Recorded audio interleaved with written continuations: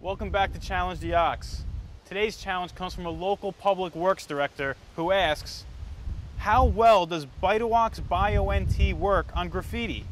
Our city is littered with graffiti and we need a green cleaning solution ASAP. To prove that Bitu-Ox Bio NT is your solution, I'm gonna spray paint my truck with enamel paint.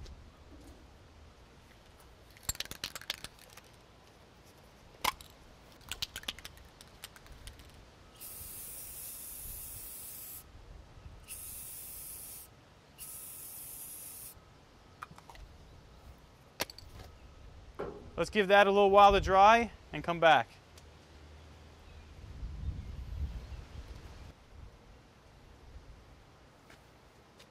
Welcome back. As you can see, the paint is now completely dry. So let's challenge the ox.